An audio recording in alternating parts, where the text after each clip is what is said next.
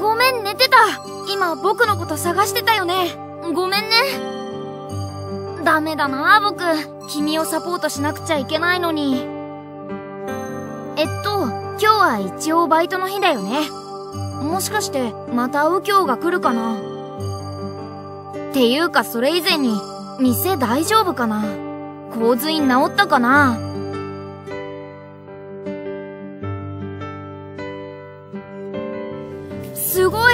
い治ってた。完璧だ。前と寸分の違いもないよ。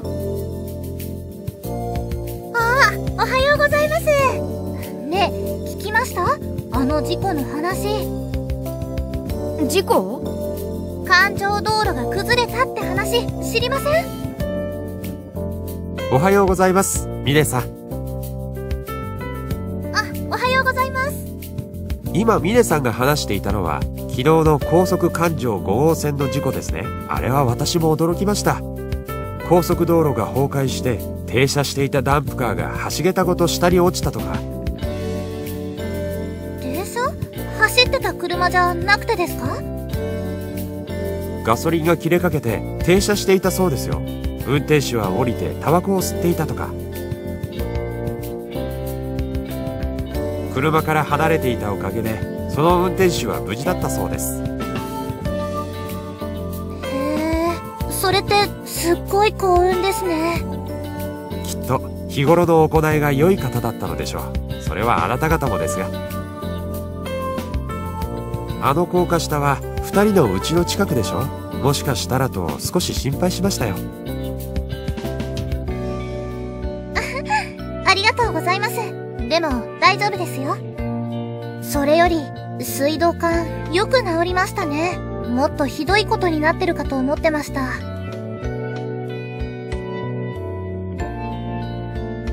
あの店長？ああすみません。一日前の惨状を思い出すとめまいが。水を汲み出し雑巾で床の水を拭い消毒をし湿気を取るために除湿機をフルで回し続け内装を新品と交換し食材を廃棄処理新規購入し家電を買い替え。さらに鍋になった床を全て張り替えるという大作業でした。一日で終わらなかったら一体どうしようかと少し不安でしたよ。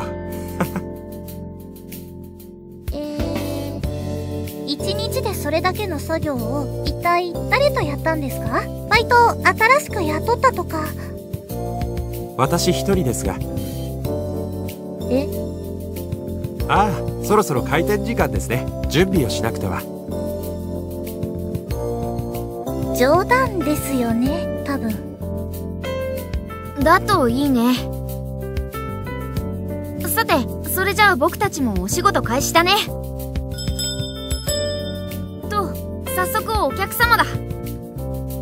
あれ？おはよう。昨日はどうも。朝ごはん食べに来たよ。お帰りなさいませ。ご主人様こちらのお席でよろしいでしょうか？よろしく。それからトーストセットとコーヒーを。かしこまりました。早速来たね。なんだかな？右京の相手するのは楽かなって思ってたけどそうでもないよね。こっちが普通でない以上にあいつも普通じゃないからどう接していいのか難しいよ。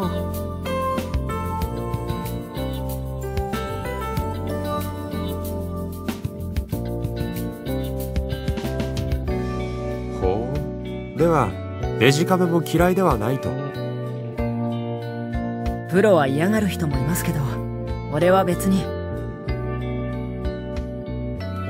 最近のデジカメは性能がいいし何より気軽に持ち歩けるでしょ？撮りたい時に撮れるのがデジカメのいいところなんだと思いますよ。そういうものですか。意外な意見ですね。俺みたいな考え方のカメラマンの方がおかしいので一般論だとは思わないでください話が弾んでるね。二人とも結構楽しそうだよ。もしかして店長ってカメラ好きなのかな？あお客さんだ。よ真面目にやってるか。おはよう。頑張ってるね。えなんでこの二人？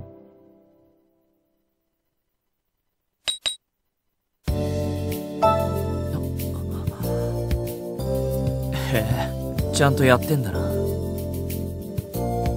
いつも見てるのにやっぱり自分が言われると変な感じだな。俺他のやつに言ってんの見ても相当違和感あるけど。それ違和感じゃなくてイラッときてんじゃない？あ、また来たんですか？ここでご飯食べるの好きですね、二人とも。別にいいだろ。たまたま通りかかったからつい来ちゃったんだけど。邪魔？今忙しいかな？いえ別に。お席はこちらでよろしいでしょうか？ミネがいてくれて助かったね。シンとトーマってよくここに食事に来るんだ。バイトしてる店に客として来るってなんか変なの。よっぽどこの店が気に入ってるのかな手が空いていますか？ん？右京さんがお会計だそうです。レジをよろしくお願いします。1180円だよね。はい。ぴったりあると思うよ。それからあの二人とは距離を置いた方がいい。え？どちらかに肩入れするとダメだ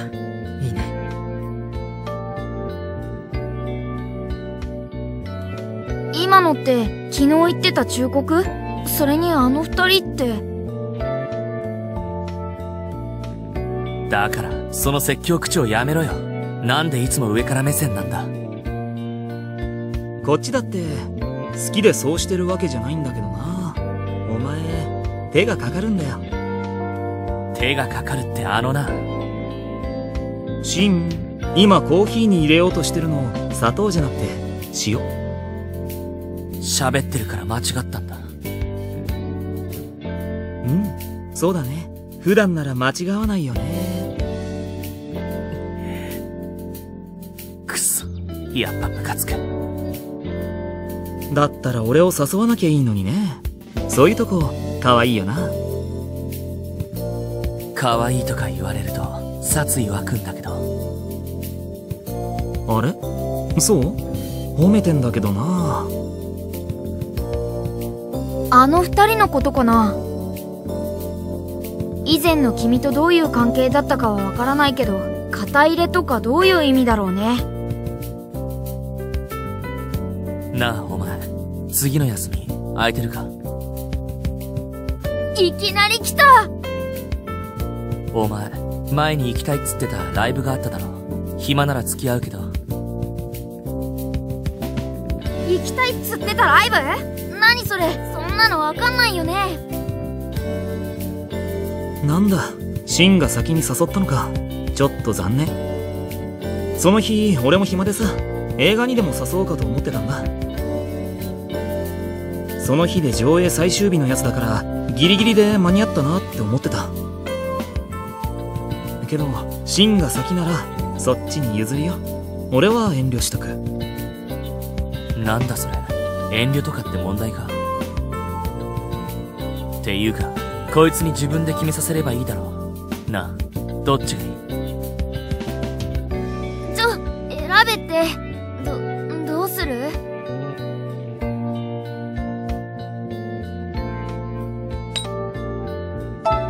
仕方ないか。お前はそういうやつだよな。ああそうだったね。同じ日に誘ったこっちが悪かった。ごめん。だなまあいいか。そのうちまた機会があるだろうし。今回の話はなしで。分かった。そうしよう。それじゃあ俺たちは帰るよ。バイト頑張って。じゃあな。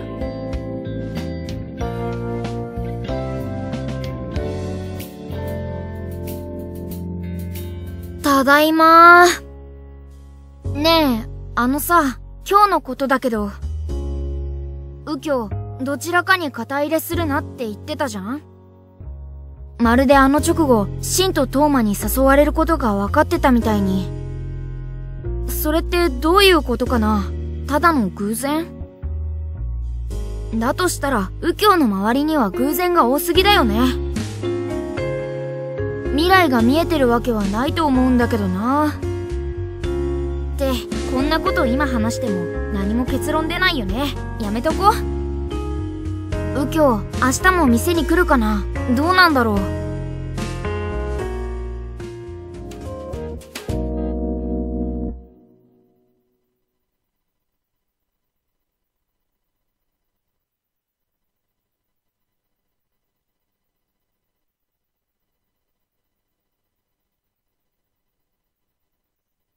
君、調子はどう？あと5分でトーマと交代だね。ま、待ったわかった。わかりました。いるから、大丈夫だから。ん、なんだろう。フロアからみたいだけど。ん？まあ、あなた、無事だったんですの？この子ったら、メールしたのに返事をくれないんですもの。まさか本当に事故に遭ったのかと心配しましたわよ。な、なにこの人？あの、リカさん、その辺で、ここ、一応店なんで。あら、ごめん遊ばせ。この子が無事と分かってつい。ほほって。先日の高速環状線の事故、あなたの家の近くなんですもの。心配になってしまって。まさかと思ってメールしても返事もくださらないし。それで、もしや本当に巻き込まれたのかと不安が膨れ上がってしまいました。落ち着かないといけませんわね。あの、ごめん。彼女、君の友達なの？ちょっと、うん、なんていうか。この子、メール頻繁にする方じゃないから、そういう心配するのは無駄じゃないかな。それにほら、いい加減にしないと。出た！お客様、大きなお声を出されているようですが、少々奥へよろしいですか？やる気だ！あら申し訳ありません。興奮して声が大きくなってしまいましたわねアルバイトの邪魔をしてもなんですし。では私はここでまたお会いしましょう。えっ、とあなた澤さんでしたっけ？それと店長さん。お二人にはご迷惑をおかけしました。深くお詫びいたしますわ。捕まえ損ねてしまいましたか。まあトラブルにならなかったのでよしとしましょう。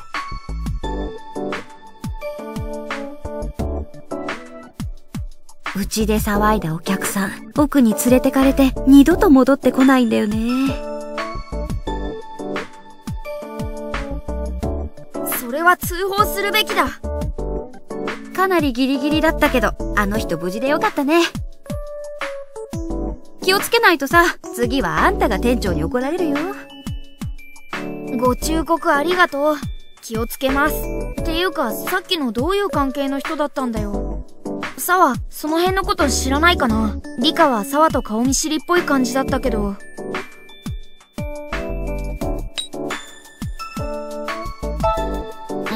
言ってなかったっけ？あんたが休みの時に、一輝さんに会いに来たんだよ、あの人。そんで、今日はあの子はバイトじゃありませんの？とかあんたのこと言ってたよ。イキさんに聞いたけど、あんたと仲いいんでしょ？二人でよく出かけてるって言ってたよ。あれと二人で出かけてる？マジで？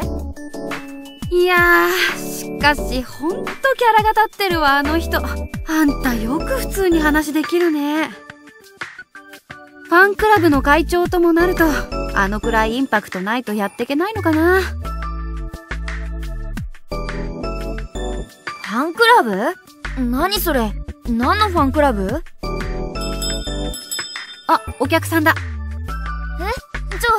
う少し詳しく聞きたいのに。右京やっぱり今日も来た。お帰りなさいませ、ご主人様。お席はこちらでよろしいですか？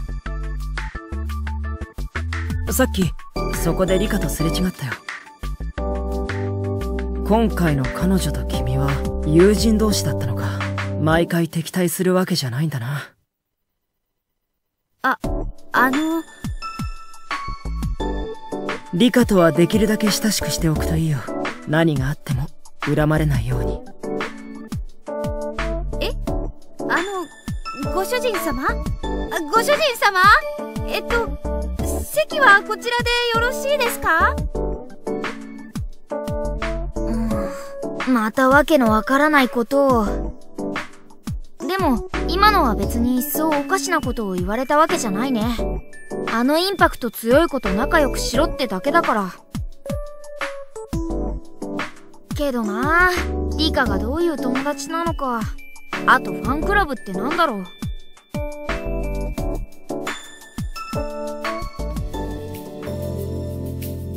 へえこれはこの街の写真ですか？一昨日撮ってきたんです。近場ばかりをぐるっと一周して。ああこれは面白いなスズメが居眠りをしてるそれは公園の写真ですね。眠るスズメって、俺も初めて見ましたよ。外敵が少なくて油断してるのかもしれませんねん？これは？それは、ほうここ数日連続で当店にいらしていたのはこういう理由ですか参ったな。それは見せるつもりなかった。よく撮れていますね。本人に許可は？伏せといてください。それは、その、隠し撮りと？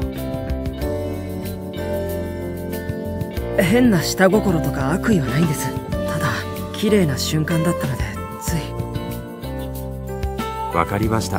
プロの写真家の方の言うことですからね。そういうことにしておきましょう彼女を狙っているんですか？だとしたら倍率は低くありませんよそれはありえません。俺はそんなことができるような立場じゃない。あの二人、何の話してるんだろうね。手元の写真見てなんか話してるけど、その写真が見えないからいまいち話の内容がわかんないや。ここにいても仕方ないから、キッチンの方行ってよっか。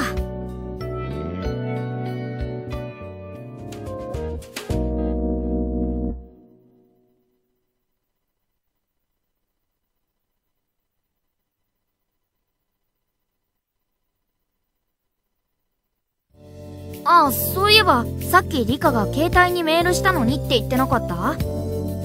そういえばここんとこ、携帯チェックしてなかったね。見てみようか。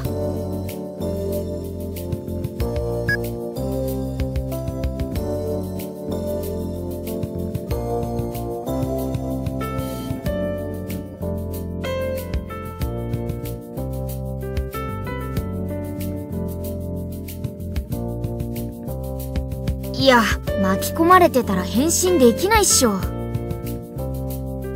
つーか彼女、メールでもこの口調なんだ。これ、こっちの世界では一般的なの？で、文体はともかく内容は普通に君を案じてる感じだね。友人ってのは間違いなさそうだ。あ、もしかして、リカが会長をやってるファンクラブに君も入ってたりするのかな？君とリカはファンクラブつながりの友人だったりしてありそうな気がしてきたな。栗のパフェが仕上がりました。6番テーブルに運んでください。で店長いつの間にキッチンに？っていうかもしかして君のすぐ隣でパフェ作ってた？全然気づかなかった。ああそれからこちらのお茶は8番テーブルのお客様へお願いしますねはあびっくりしたあの人、右京とはまた違った意味で人間離れしてるよね。カフェはオッケー。で、お茶は8番テーブル。あ、右京の席だよ。あの席、右京好きなんだね。しょっちゅう座ってる。あ、ありがとう。そこ置いてくれるかな？あれ、さっき店長と見てた写真、もう片付けちゃったんだ。ちょっと残念だね。君は今日、駅前へは行かない方がいいよ。え？詳しいことは言えないけど、駅前に通り魔が出る。だから、行っちゃダメだ。通り魔って、何それ？と、お客さんだ。間が悪いな。いいよ。行って接客しておいで。俺が伝えたいことは今ので全部だから。今日だけは絶対に駅前に行ってはいけない。いいね。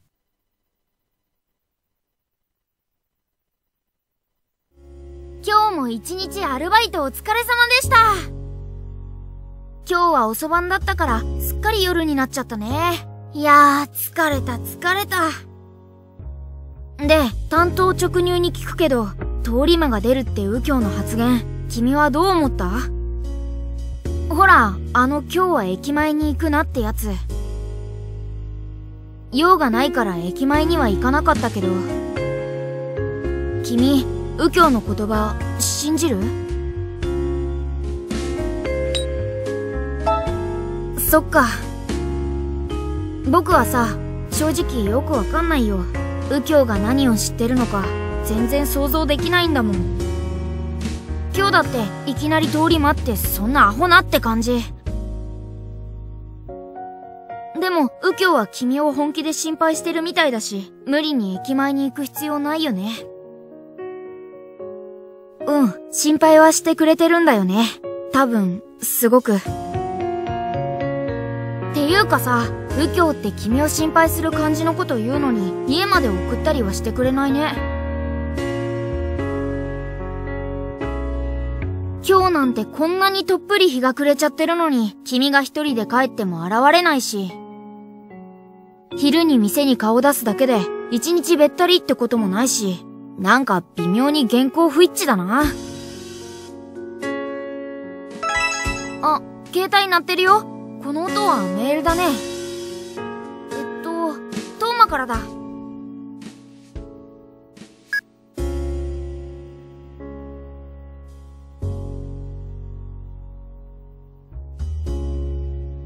ニュース？ねえ、テレビつけて、早くで、28歳の男がサバイバルナイフを振り回し、通行人に怪我を負わせるという事件がありました。事件が発生したのは午後7時15分。駅から現れ、ナイフを振りかざした男は通行人の女性を切りつけました。女性は衣服を切られましたが、怪我はなく、男はすぐに警官らに取り押さえられました。現在、動機など詳しい事情を調査中とのことです。さて、次のニュースです。本当に出たね、通り魔。で、でもほら、犠牲者いないって、それは良かったね。もし君が言い合わせてたら、君が犠牲者になってたりして。いや、全然笑えないよ。んこ今度は何？電話？相手は、うわ、表示されてない。これ公衆電話とか？えっと、えっと、いいや、とにかく出て。あ、無事右京だけど。右京携帯の電池が切れちゃって、公衆電話からなんだ。驚かせたかな。っていうか、右京は君の携帯番号を知ってたってこと？それっていつ知ったわけ？もともと知ってたとか？黙り込んでるけど、無事なんだろ。駅前には行ってないよね。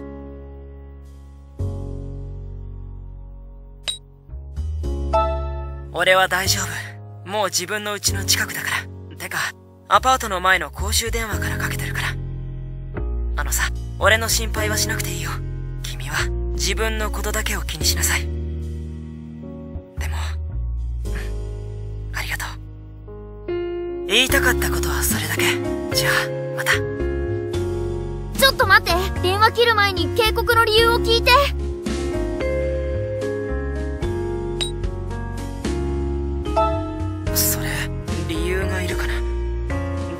言わなくちゃ、ダメ。別に、特別な理由はないよ。ただ俺は、君を。君に、生きていてほしいだけなんだ。君は、そのままでいてほしい。できることなら、何も知らないままで。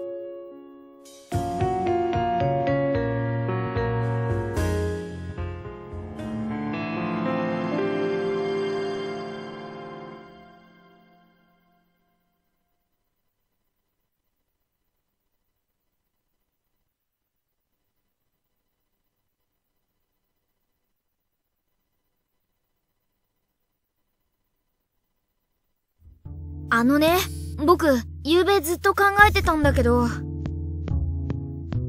この一連の出来事右京が全部仕組んでるとかってないかな。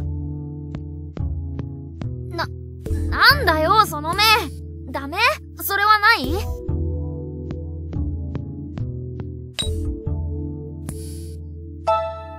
目的は、えっと、ほら、多分君を思い通りにすることだよ。これまでの事故や事件だって協力者がいればできなくもないし。あ、でも昨日の通り魔は無理かな。犯人捕まってるし。いや、待てもし右京が犯人を洗脳してやらせたとしたら？うん、あり得るで、待った。そんなことできるなら、こんな回りくどいことする必要ないや。君を直接洗脳すればいいんだもん。うー、矛盾しちゃうか。っていうかさ、怖いの？なんかあの人。君のためになることを言ってくれてるんだって分かってるけど。正体不明すぎて何が何だか分かんないんだもん。悪意はないみたいだけど、悪意がない方が逆に意味が分からなくて怖いというか。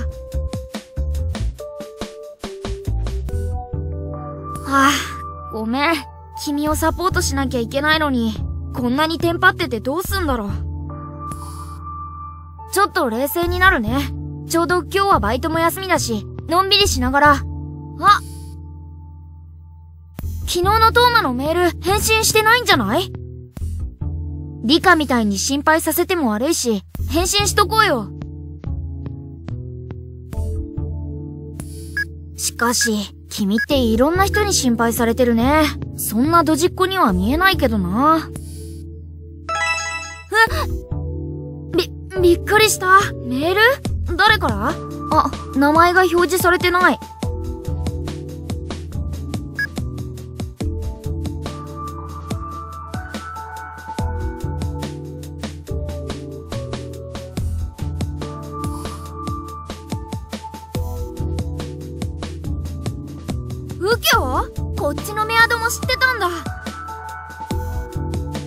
バイト休みって知ってるってことは、店に行ったのかな？でも地図の場所に来てほしいって。うーん、どうする？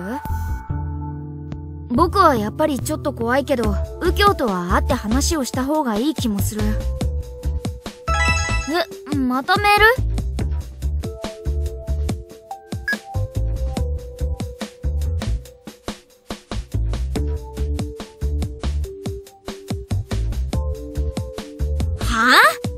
ってんのこの人来いって言ったり、家から出るなって言ったり、いい加減だな。どうする？家にいる？それとも、いっそ勝手に地図の場所に行ってみる？